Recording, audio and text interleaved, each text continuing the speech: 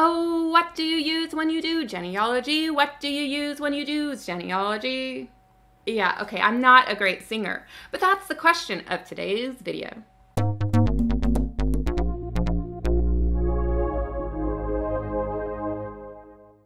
Matthew sent us an email and it reads, What do you use when you do genealogical research?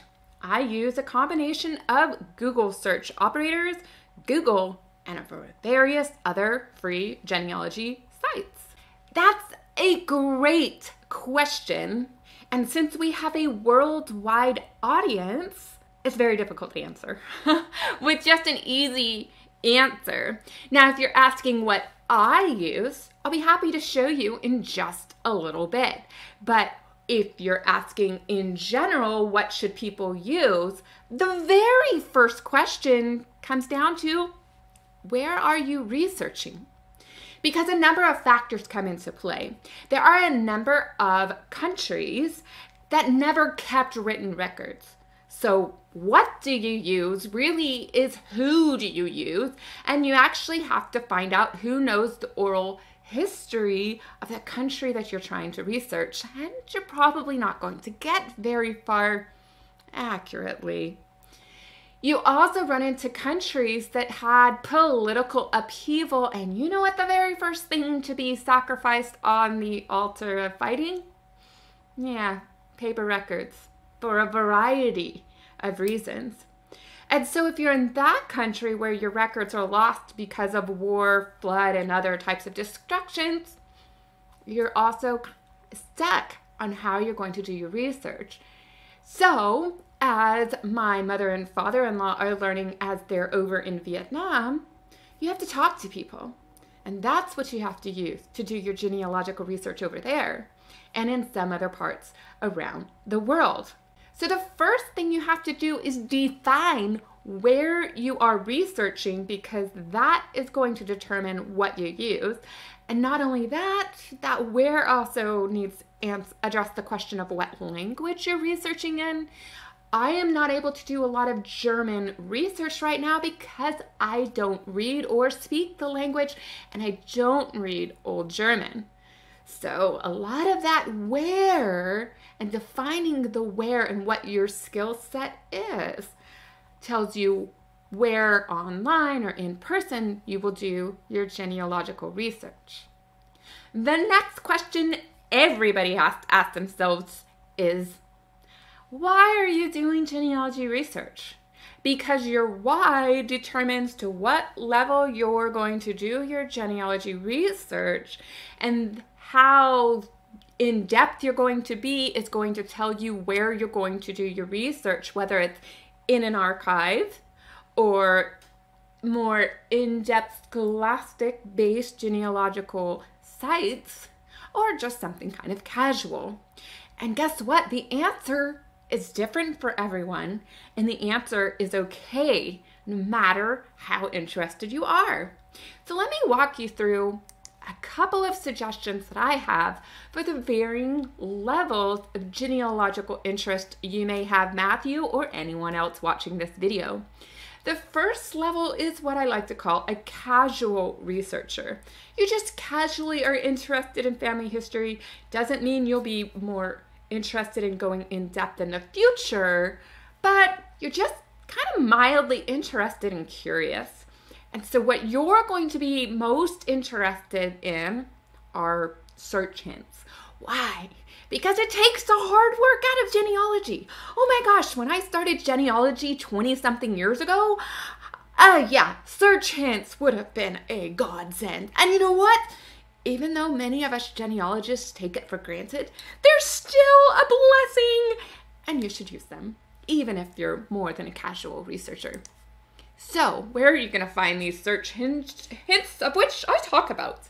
Well, on some of the genealogical sites, like you see right here. Family Search is free, but it's a collaborative tree.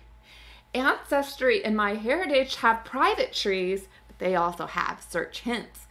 So, if you're a casual user and you are frugal or just don't want to spend any money, head over to Family Search. But I'm going to give you a piece of advice in a moment And if you're casually interested and you're willing to spend some money or somebody bought you a gift membership for a year, then check out Ancestry or MyHeritage, especially Ancestry if you have US based ancestors, and MyHeritage if you have more global ancestors.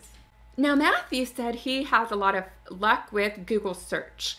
And I'm guessing he uses Google search to get to different websites out there, such as US Gen Web or some of these other free sites that you have to use Google search to find because you're not usually going to find them on Ancestry or Family Search or the like. Beyond that, I don't have a lot of luck with Google search.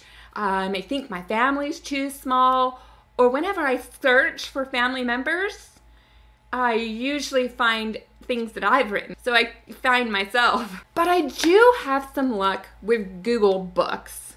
No, my ancestors still aren't amazing enough to find in Google Books, but what I find in Google Books are county histories. If I want to learn a little bit more about where my ancestors came from, I've exhausted some of the um, hints on the various websites, and now I just want to know a little bit more about Franklin County, Ohio then I can go to Google Books and look for a Franklin County, Ohio county history. I can also use Google Books, and I did this when I was kind of casually doing research, and that was discover the unit history for my ancestor William James Townsend, who fought in the Civil War. I knew his units the 133rd Company K of the Ohio Volunteer Infantry. And I went to Google Books and found a unit history of that unit. And that was really exciting. So sometimes the books are for just more uh, broaden my mind about the history of the time and place my ancestors lived, even though their names aren't usually going to appear in those books. Now, when you begin to get a little more serious in your genealogy, you want to organize your data. And one of the tools that you might consider using is genealogical software. Now, some of the reasons why genealogical software is better than just kind of haphazardly searching online and saving things to Google Drive or Evernote is that it's really designed to organize the types of information you're going to find. Family groups, pedigree, events in someone's life, notes, media, citations, it organized that information. And unlike in other organizing systems, such as paper, filed, or Evernote, you can analyze data and clean things up in your family tree. This is what genealogy software really excels at, even more so than online genealogy trees. And finally, I love genealogy software that becomes a central hinting source. So instead of going to Ancestry and Findmypast and MyHeritage, I can go to one place. And right now, my place is RootsMagic. It has hints to the four major websites. And then with a product called GenSmarts, it also gives me some other hints of some records that I might want to investigate. So I really love having a central hinting spot for a variety of places to research using genealogy software. Now, when you're moved beyond casual researching and you're into more serious research, you're still going to use genealogy websites, but you're going to go beyond the hinting. You're still going to use the hinting. You're just still going to use the hinting. But you're going to go more in depth. You're going to go check out this thing called the card catalog in a video from Ancestry that I interviewed Crista Cowan, she said, check out the card catalog because in the search form, these smaller collections where your ancestors are hiding aren't always bubbling up to the surface. You have to go check out the card catalog.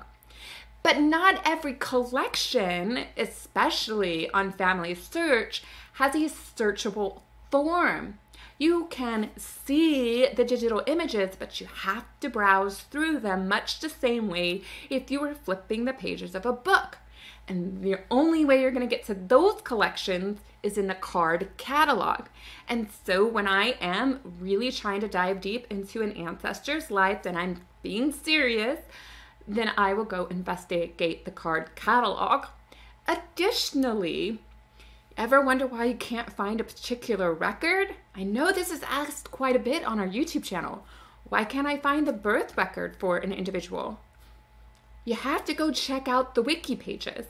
Family Search has a wonderful wiki collection. The wiki pages on Family Search tell you specifically when were records collected for a particular time and place. And if your ancestor lived in that place, did they have their birth before, during, or after the institution of records being collected by the state or the church, or not at all? That's where you're going to find the answers to those questions. So when you're ready to go beyond casual researching, you need to check out wiki pages. Okay, serious researchers have a lot of places they can go and find out more about their ancestors. And once they've exhausted or attempted to exhaust the big four ancestry, Findmypast, my heritage, family search, they go off site, kind of like off roading, if you will. So they probably have already investigated some of these record uh, repositories that you see online. Cemeteries are usually linked with Ancestry and Family Search to find a grave and BillionGraves. But we go a little bit deeper. For me, if I know my ancestors were buried in Cincinnati, Ohio, and they happen to have been buried in Spring Grove Cemetery, then I head over to the Spring Grove Cemetery website and I find some really great information on that website. Courthouse records. I've used the Huron County Courthouse to find probate records and divorce records for some of the ancestors that I am researching right now. The NARA website is a great portal to a lot of other collections that you may be interested in. They don't always have stuff online, but they give you the guides to do off site research because, yes, not everything is online. My new favorite Beyond City directories, which I have three videos on this channel. You can check the description or the info cards. Yeah, small plug. But newspapers, um, newspapers.com, Newspaper Archive, Chronicling America, Genealogy Bank, these have great um, records for you to investigate to find the stories behind your ancestors rather than just obituaries, which most people actually go look for when they're searching newspapers. There's so many other great finds in newspapers. And I also said those county histories, but it pays to remind you county histories are fantastic for the social histories about your ancestors. And you never know, you might actually find that your ancestor was published in that county history.